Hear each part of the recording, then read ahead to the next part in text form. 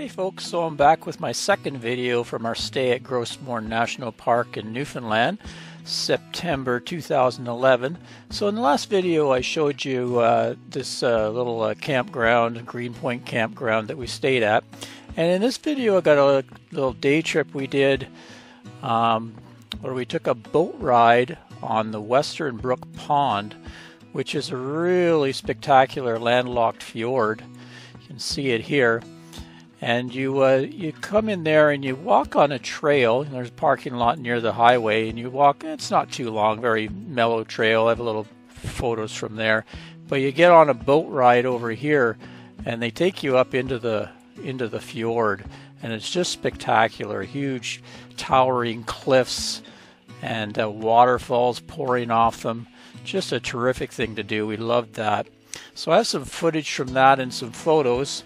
And then I also have some footage and photos. We went over here to this uh, place called Cowhead. It's a town of Cowhead right here. And there's a peninsula that comes out from it. So you can go out there, and there's another trail that we walked out. And we got right on the end here. There was some really unique rock formations that Anne wanted to photograph. So we took Angie and headed out there and had a had a good uh, good walk out there, got some exercise, and it was a nice calm day. Good way to finish up our explorations of uh, Gros Morne National Park. And you also see some photos from us at the ferry terminal on our way back, and then some shots from the ferry as we leave uh, Port aux Basques and head back to Nova Scotia. We only spent two weeks in Newfoundland. Wish we could have spent more, but uh, it was actually starting to get cold. We didn't get there till September, and even the day before we left, it snowed. So it was time to start heading south. Love to go back there again.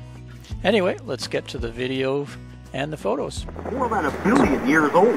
At the highest point, they're about 700 meters, or about 2,200 feet. Now this is actually called the Grenville Basement Complex because it underlies all other rock types on the west coast and northern peninsula of Newfoundland. These are actually the roots of an old mountain chain and a part of the Canadian Shield. Now, in studying mountains, geologists have learned that the roots of a mountain chain can extend down into the earth at least as far as the height of the mountains themselves. So at one time, these mountains may have been as high as the Himalayas. Now, all that remain are these ancient uplifted roots. Now, the long-range mountains extend from Port aux Basques all the way up to St. Anthony, and these are actually the northeastern portion of the Appalachian Mountains. Now, folks, just in case there's anybody here maybe curious as close as we are to these cliffs here, there's still approximately 400 feet of water directly below this boat. There's a tremendous amount of noise here and a huge cloud of dust. You can see it wiped away a lot of the vegetation from the hillside here, though it is gradually starting to grow back now. Now, this didn't create much of a wave or a wake into the pond, because it happened so deep into the mountain, it pretty much just slid down the hillside. Now, our captain at the time recorded this in his log as only a true Newfoundlander would, and he wrote, Great Big Rock Fall. Woody Pond Falls, and it actually starts its descent about 600 meters or about 1,900 feet above us. Now, once again, the captain will be taking the boat in a complete circle here, so everyone's going to get a perfect view.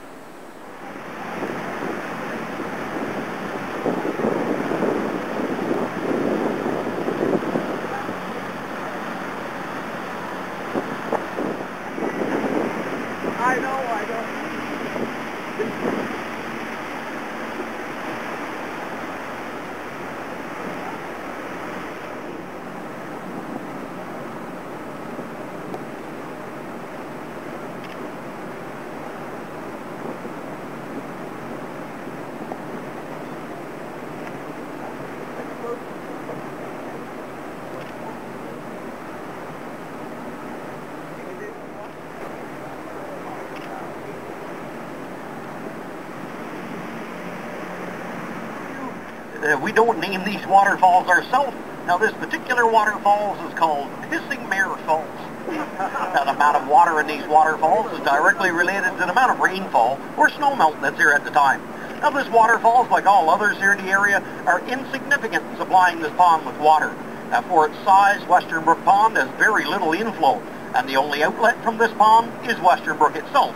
So now, just to give you some idea of how little water actually enters and leaves this pond, it would take 15 years for this body of water to flush itself completely. Most ponds would flush their water about six to eight times every year. That was fun? Yeah, awesome. well, it's not an adventure if you don't get lost. Oh, yeah. Oh.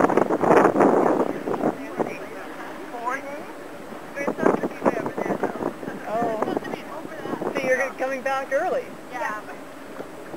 They don't tell us. No, they don't about it. Yeah, It we're sounded like, here. thank God, Yeah, we're out yeah, of we're outta here. here. it was a fun Thankful your cell phones work so we can call that back. The important thing is, did you see the animals?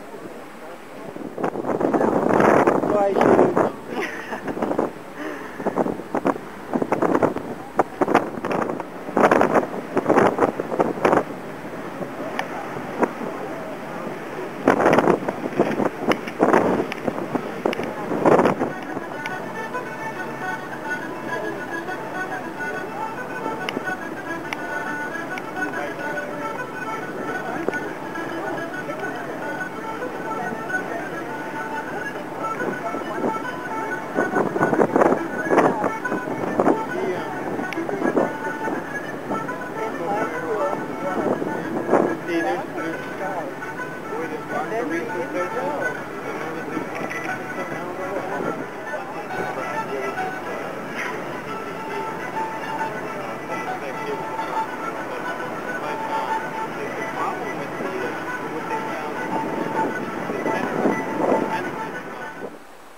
head called cow head.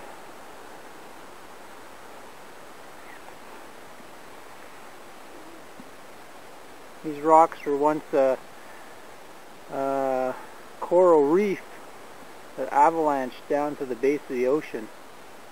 Now it's been pushed up. You see that little person up there? That's Anne taking photographs way up on that little peak. We hiked through the scrubby bush there for a few miles to get out here. Way over there is the coastal range. Along there. And that foggy indent right there is Westbrook Pond where we took the, the tour boat. Down there about 10 miles is where we're camped right now. Kind of cool. Careful, Angie. Don't fall. Stupid beagle. Yeah, it's really cool.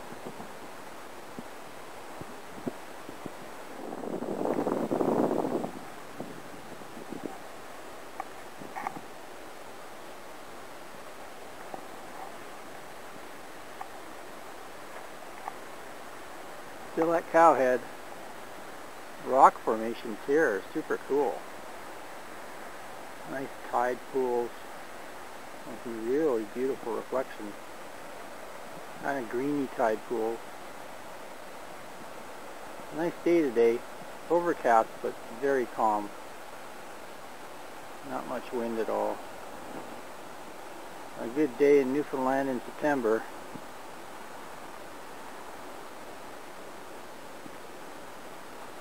See if I can get Angie to give you some scale of how big these rocks are.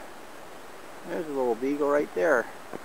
Angelina Beaglina, how you doing?